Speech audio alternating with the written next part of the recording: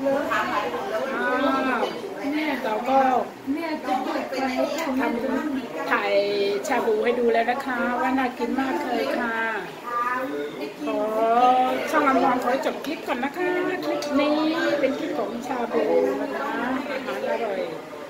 ไปสั่งได้ได้เลยนะคะช่วยติดตามด้วยให้นะคะหมดไอซ์แลนด์ชาแนลค่ะสวัสดี ค่ะ